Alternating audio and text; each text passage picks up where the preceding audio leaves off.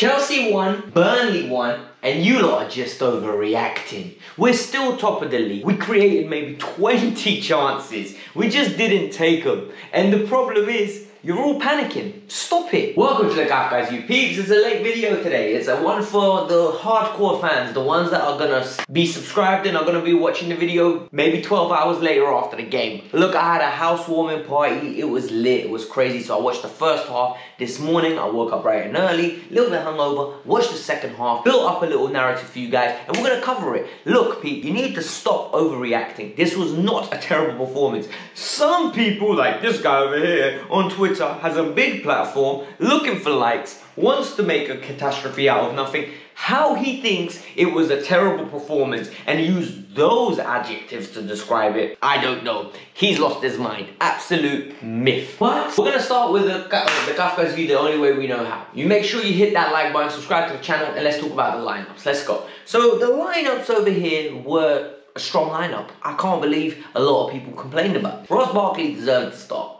We needed to rotate. You can't be risking players that aren't fully fit. We've had injury problems. I told you guys, five players were out of this game, yet people still wanted to know. Ross Barkley came in, Callum Hudson-Odoi on the right. We had Havertz up top, who played very well again, by the way. People don't want to admit it. We went for Ng and Jorginho, and then the regular back four, five with the keeper. We, like I said, we started the game and we came out like a train on a mission. There were so many chances in the first 10 minutes. There were three massive chances in the first 10 minutes.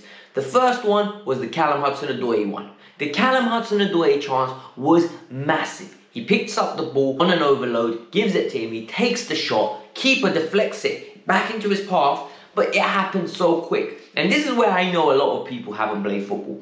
Do you know how quick this is? That you have to react. Your body can't react and his shot went wayward. And a lot of people were moaning, and he me going. Maybe the first one, but it's a great save. The second one's a hard chance. He had to be a little bit more composed, and he needs to develop that in his game if he's going to continue playing for Chelsea. Number two, Callum puts a beautiful ball into the area, and Christensen is what heads it wide. And it's frustrating because you're a centre back and you should be able to header the ball better, but we can't be hypercritical. We can't because I think the chances were there, the quality of chances were there, the patterns of play were there. We were opening Burnley up at will. This continued. This onslaught continued throughout the game. Like the first 20 minutes, Chelsea were overloaded each side, shifting ball left to right. Jorginho and Kante were literally like a hoover. Anytime we lost that ball, they were hoovering up any danger. Firefighters FC. Bro, listen, when I'm the one being the voice of reasoning, you know for a fact, right? Some people are just overreacting because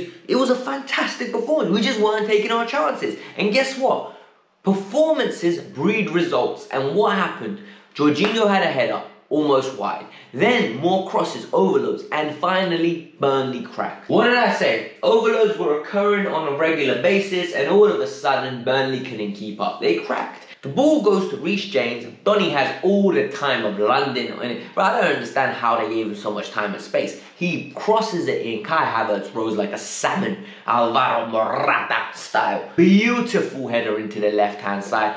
Guided header. Didn't need to direct. No pace, just direction. The ball was fantastic from Reece James, another assist for Reece Boy, and Kai gets a beautiful finish. And a lot of people were riding on Kai saying he's absolutely terrible. Where was he terrible there, huh? I thought Kai can't score. A lot of people said Kai Havertz is not a goal scorer. He can't do it. He don't have the attributes to be scoring goals. Well, he scored there. He scored there again. Come on, talk to me now. Talk to me now.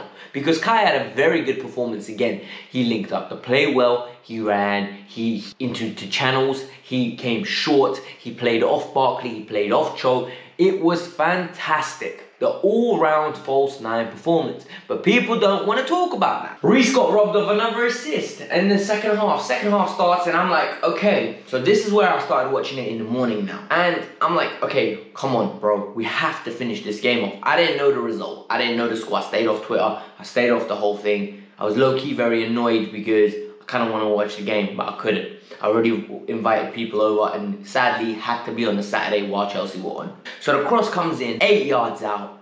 Brother connect with the ball with your head. Hits his shoulder, hits the post, and I'm fuming at this moment in time. I'm like, bruv, what is going on? Why are we not taking these chances? And I know people love to run agendas. People live to run agendas. This is the reason we didn't win this game. We don't take your chances, you don't win the game. Bruv, that is a weak argument. You need to understand why we didn't take our chances. Why? Pope was on fire, bruv. He was El Fuego. El Fuego. And yet, people do not want to understand. They do not want to understand that they had an opposition goalkeeper that had the game of his life. And you don't believe me that he had the game of his life? Let's talk about the next three chances Chelsea missed. And a lot of people exaggerating the extent of these chances. If you notice the theme in this review, I haven't even spoken about our defenders at all in a defensive mindset. Because Callum Hudson-Odoi picks up the ball, rips one, rips two, goes into the box, takes a shot, two defenders on the line, Pope puts out his size 13 boot and the ball goes out. Callum should be scoring it in my opinion. Like Callum, if he wants to become a Chelsea level player, you need to be more clinical in that situation. But Callum was one of our best players. I don't understand this abuse that he receives. And people are like, oh, you should be scoring that. I understand. I just said he should be scoring that. But it's not a sitter. You can't be acting like it's a sitter. We need to be realistic. Then there was another chance, the Kai Havertz one. This one, on the other hand, I think he should be buried. I think Kai needs to be buried. And I think the part of the reason why Kai didn't try to bury it the way Cho did on the floor is because Kai saw what Pope did to Cho. And he lifted it. And when he lifted it, he was too delicate, so the ball scooped over the bar. He needs to be scoring from three yards out. When a cross comes in of that magnitude, and his movement was fantastic because he went out and then back in in front of the defender, he needs to be scoring. And when you're that close, the game should be buried there and then.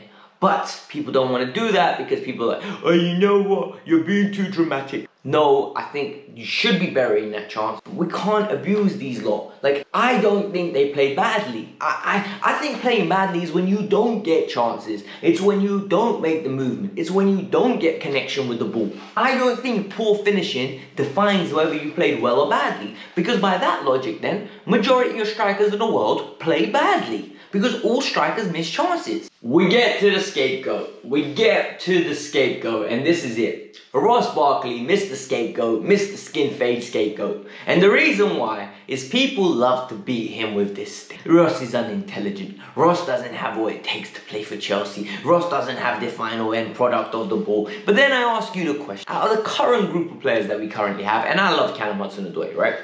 Is Callum Hudson-Odoi's decision making better than Ross's? Is Mason Mount's decision making better than Ross's? Is uh, Werner's, Havertz's, Ziyech's, Pulisic's decision making better than Ross's? Ross's chance, people like, he should be laying it off to Ben Chilwell. Firstly, have you ever played football? Have you ever played football? Because when you're in the final third, everything speeds up. And the best players, the world-class players, everything slows down because they're more relaxed. They can see the pitch. They scan it before they receive it. How many times have you watched Cesc Fabregas compilations where he says the first thing you need to do is take a look before you receive the ball so you know where someone is. Ross didn't do that. Ross received the ball, then, then opted to panic and go for the shot. Is that the wrong decision? In hindsight, yeah, because there's a freeze frame of you showing, oh, give it to Ben, give it to Ben. In the moment, if he tries to play it and messes up that pass, you're going to say he over here.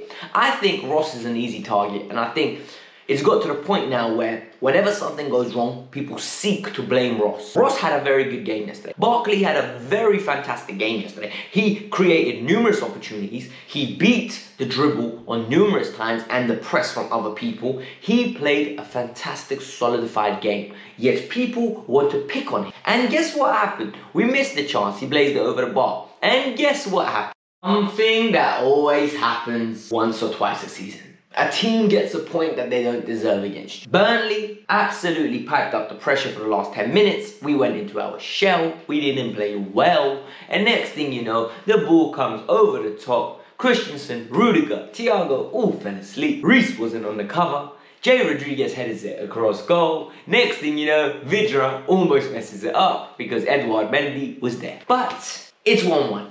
And we drop points, and I think people don't need to. I think you don't need to overreact. I think you need to calm down. I think this is 13 points from the last 15 of available. This is us top of the league.